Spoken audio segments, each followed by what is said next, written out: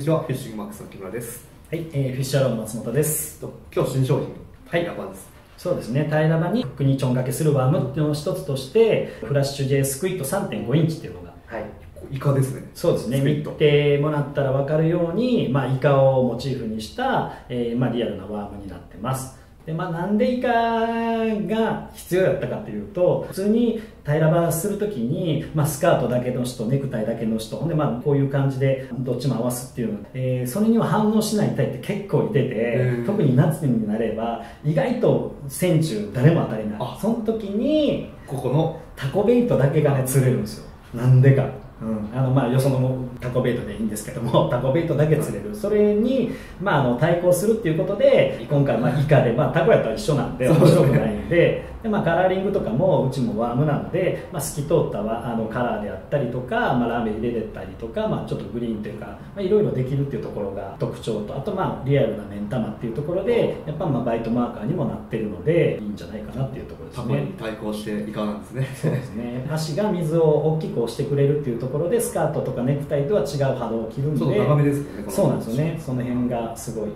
感じで。はい。まあぜひ釣れない時に使ってほしいと思います。はいありがとうございます。